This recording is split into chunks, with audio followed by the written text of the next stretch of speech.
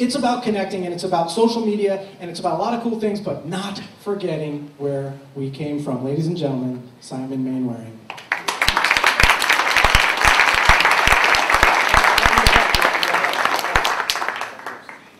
Good evening, everyone. I'm Australian, which is why I sound funny. And I have to say, first up, oh my God, hallowed ground right here. As Australians, we put American pop culture on a pedestal, and the talent that is performed on this stage is incredible. So, while I want to thank our sponsors, Make It Work in the Viper Room and the Comedy Store and Yahoo, I must also honor the comedy gods, excuse me.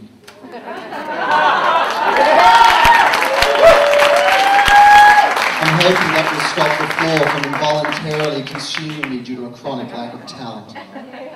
But, um, you know, we thanked our sponsors and we've thanked um, the volunteers, but I also really want to thank Jeff for what he just said in his talk.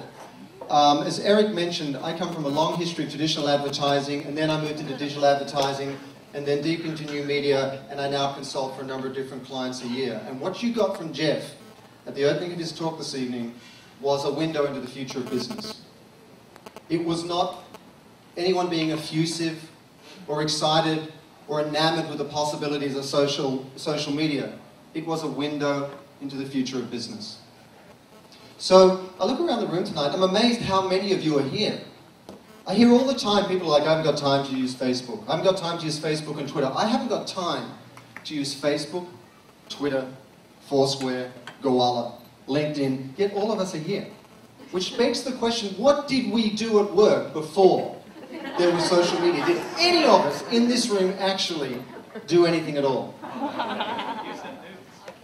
So, thank you all for being here. I really, really do appreciate it. And we're here to talk about the real-time web. And I would like to do something a little unexpected in that I would like to talk about some of the key principles we rush past in our hurry to take advantage of these new tools. In terms of what those principles do in allowing us to leverage them in the right way. So I'm going to talk about three things. The first thing are the five major trends that are coming together right now that are, that are going to transform the web even as you know it. Transform the web even as this literate, literate audience understands it today. Secondly, I want to talk about the four principles that everybody overlooks and I, that I invariably come across in my work with brands. And then finally, I want to give you three rules to live by that will enable you to succeed in this new marketplace. So, five trends, four principles that are overlooked, and three rules. Now, the first of those trends is something we all know a little bit about. Social media, correct? Who knows the latest figure on Facebook? How many users are there? Is it 420 million? Over 500 million already? And yet Facebook isn't even in the top 10 of social networks in China. Oh. In fact, in terms of size, in fact, if you went to South by Southwest this year and went to the China talk, you would have heard them say that the most talked about brand across social media in China is the Ford Focus. There are 140,000 messages a day about the Ford Focus in China. And they're not congregating around the Ford site, they're congregating around the nicknames that different communities have for their car. For example, my little rabbit, or my little darling, or, or whatever it might be in Chinese. So not only do we have people talking about the brand to that extent, they're doing it in communities around nicknames, which is one product of a brand being talked, uh, talked about across multiple platforms. That's how sophisticated the consumers are already. Even more sophisticated than the brands, and in my experience, often more sophisticated than their advertising agency partners. The second trend, we know about this as well, mobile. You know how our kids all ignore us and have no eye contact anymore? That was the one thing I missed at South by Southwest this year. Just seeing the colour of somebody's eyes.